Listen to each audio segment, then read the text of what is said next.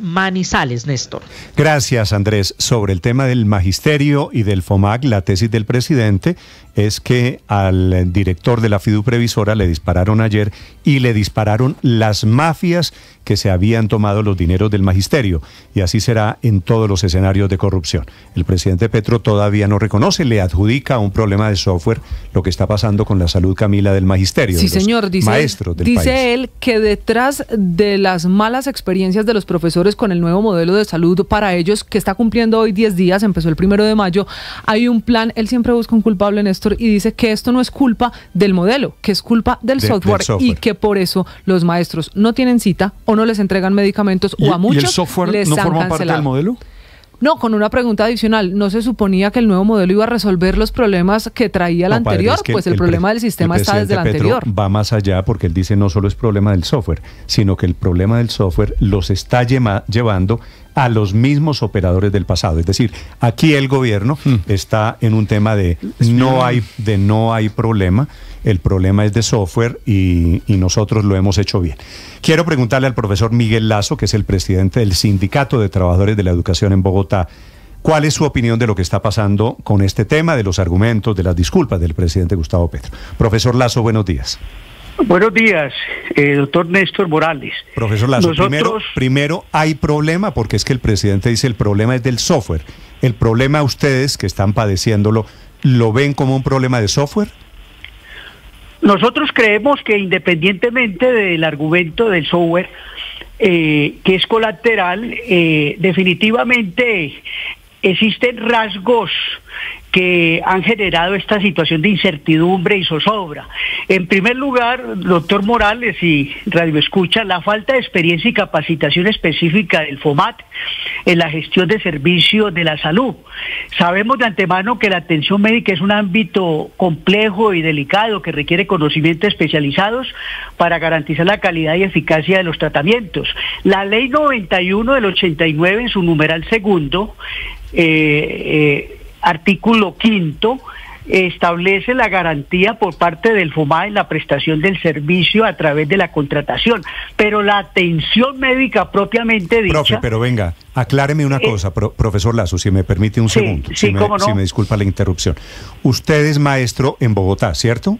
Yo soy educador en el Distrito Capital, Vale. sí, cómo no. Cuénteme, cuénteme primero cuál es el problema que ustedes tienen desde hace 10 días para llegar después a identificar quién es el responsable del problema. ¿Le parece? Sí, en primer lugar, eh, ayer hubo por parte de la fiduprevisora y el FOMAT la notificación de la prestación del servicio en el Distrito Capital a través de dos sitios de atención. La IPS, eh, que está ubicado en Modelia y en Chía. Es decir, que en lugar de expandirse propiamente el servicio, nos redujeron a dos sitios de prestación del servicio. Esto nos parece obviamente lamentable. Eh, la IPS que presta el servicio en Normandía eh, es Servisalud que depende fundamentalmente de la EPS propiamente dicha, que es Fersalud. Y lo mismo en el caso de, de- del municipio de Chía. Vemos que eso obviamente implica improvisación y lo decimos porque si bien es cierto el día 29 de abril del 2024 en sesión del Consejo Directivo ya se había conformado la red de proveedores para prestar los servicios de servicios primarios, complementarios y entrega de medicamentos y tecnologías, prácticamente de la noche a la mañana, eh, no se puede obviamente pretender que se garantice la prestación efectiva de los servicios médico-asistenciales, que no solamente es para los docentes, directivos docentes, sino también para sus beneficiarios. Sí. Por eso hemos creído definitivamente, doctor Morales, que la situación realmente plantea interrogantes sobre la misma autonomía y capacidad de respuesta a las necesidades específicas de los docentes en diferentes regiones del país, no solamente en Bogotá. La diversidad geográfica y socioeconómica de las comunidades donde trabajamos los maestros requiere una atención personalizada y adaptada a las realidades locales. Claro, precisamente como eso se tiene que adaptar en cada ciudad, profesor Lazo, ayúdenos con ejemplos para que los oyentes puedan entender la dimensión de lo que les está pasando hoy a los profesores. Cuando van a esos dos puntos de atención que Fiduprevisora habilitó para maestros, por ejemplo, en Bogotá, ¿cuál es el problema? ¿Con qué se están encontrando? No, pues sencillamente no puede dar eh, eh, la, la entidad Servimet Normandía ni la entidad en Chía no puede garantizar la prestación del servicio. Imaginen en el caso específico del magisterio, que somos eh, 40 mil, sin contar obviamente sus beneficiarios, que puede implicar perfectamente cerca de un millón de, de personas, si no más, no puede garantizar esa, esa, esa cobertura, esa atención expedita eh, en la medida en que teníamos ya unos sitios circunscritos a través de Fersalud en Bogotá, pero hoy no se nos atiende. Por ejemplo, las urgencias que nos posibilitaban en la, en la, en la clínica, en el Hospital San José, eh, eh, pues no nos atiende porque sencillamente manifiestan de que pues en esa transición están verificando con el FOMAT, con la misma fiduprevisora, los desarrollos y alcances del nuevo modelo de, de prestación del servicio médico. Por eso se están generando situaciones en diversas entidades territoriales donde el maestro no sabe con certeza a dónde acudir. O si acude, acude a unos sitios, como el caso de Bogotá, que nos dicen hay dos sitios de atención, Servimet, Normandía y Chía. Imaginen ustedes quienes tengan que desplazarse al municipio de Chía, mm. o quienes del suroriente o de Ciudad Bolívar o del mismo norte de Bogotá tengan que desplazarse a Servimet de Normandía, y sobre la avenida Boyacá con calle 53. Hoy es realidad lo que ha dicho el presidente Gustavo Petro defendiendo este modelo de salud, que hoy los maestros pueden acceder al servicio médico en la clínica que quieran en cualquier lugar del país.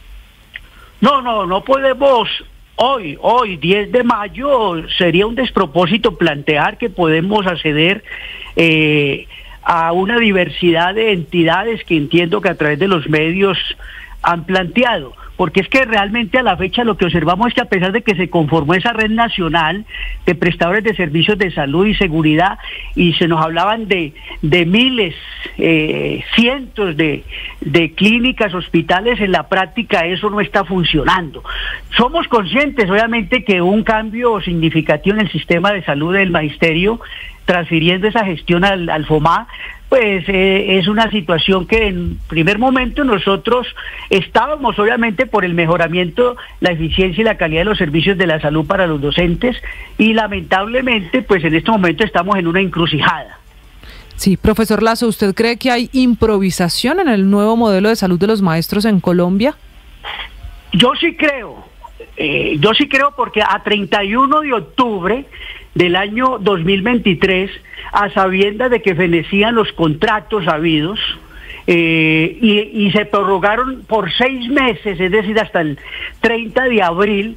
En seis meses pudo efectivamente colocar eh, las entidades involucradas, porque para nosotros la garantía de la prestación del servicio, ya que se ha hablado en un tema interesante estuve escuchando sobre la responsabilidad política. Por ejemplo, el Ministerio de Educación Nacional debe garantizar cabalmente como fideicomitante.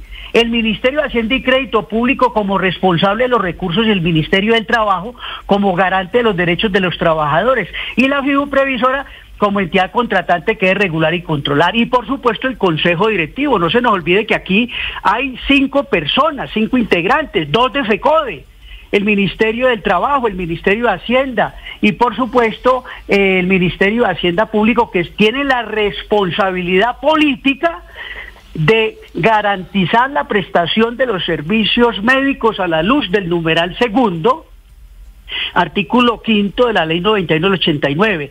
Y esto lo que observamos es que lamentablemente eh, eh, ha generado más incertidumbre y zozobra a lo largo y ancho del país. Sí, volvamos a lo que dice el presidente Gustavo Petro desde el eje cafetero. Profesor, en toda esta historia, ¿cuál es la responsabilidad del software, del sistema con el que atienden a los maestros?